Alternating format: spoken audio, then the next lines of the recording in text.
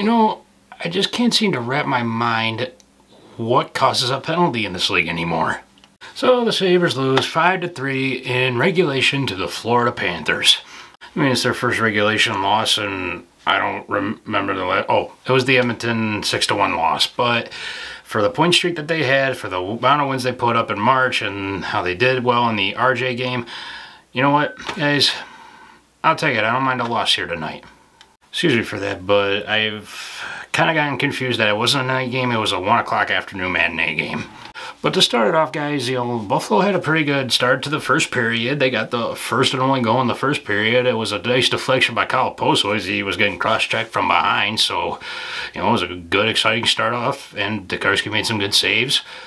And then it went just pretty much downhill in the second period because in the second period, uh, even though Tokarski made some nice, fantastic saves, he let out some juicy rebounds, and the defense was a little bit out to lunch on some of these goals, and Florida found itself scoring three straight goals, making it three to one, pretty much going into the third period. And the third period was out to a rough start. Dahlin, I don't know what he was doing on defense, but that goal I felt like you take that goal away, we were either probably talking about a 3-3 tie or a possible, you know, game in overtime.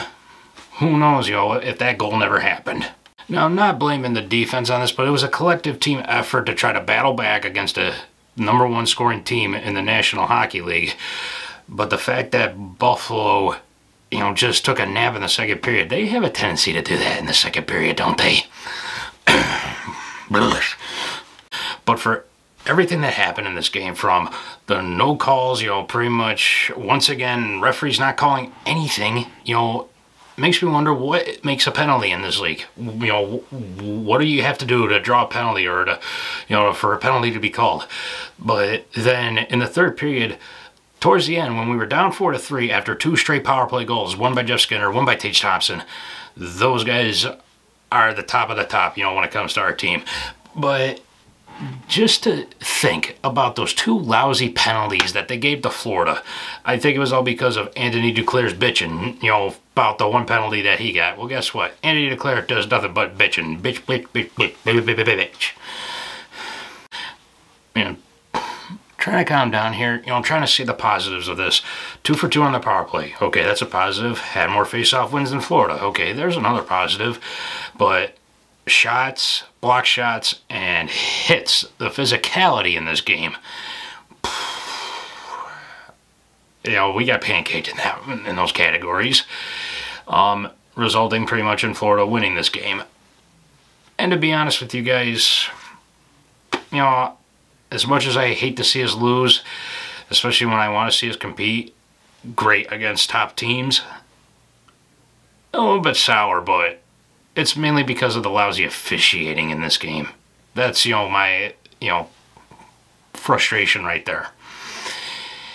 So, all in all, guys, you know, I can't really say much that, you know, you know, defense and goaltending had their bad moments in this one. Jacob Bryson with that slip up in his own zone where Claude Giroux picks off the puck and pretty much sets up the tying goal at 1-1. Um, out to lunch on that goal that made it 4-1. What was he doing? Don't know. Tokarski let out a couple of good rebounds that, you know, where those goals went in and he couldn't get himself in position to stop it.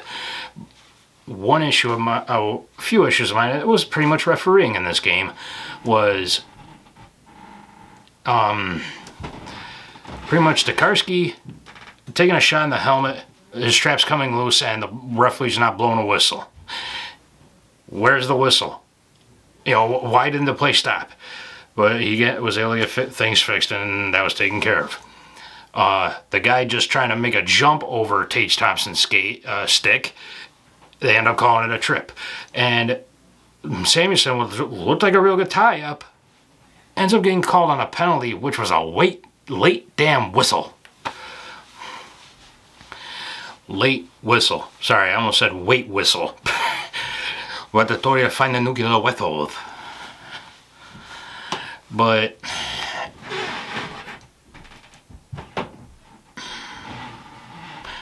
I just hope they can keep up that tenacity and that fight, you know, throughout the rest of the year, throughout the rest of this month, because this is the last month of the season. Um, you know, Florida's on their way to the playoffs. They just got their most wins in franchise history in a single season, so kudos to the Florida Panthers. And of course, you know, Sam Reinhart, Brandon Montour, former Sabres on that team. Um, don't really have much envy for them because, I don't know, the, you know, it was more of a hatred towards Eichel than anybody else, but off the side there. Um, in conclusion, guys, I'm glad that they battled back, even though it was 4-1 tor towards the start of the third. You know, the two for two on the power play. You know, not giving up. And, of course, Knight is 3-0 against the Sabres this year.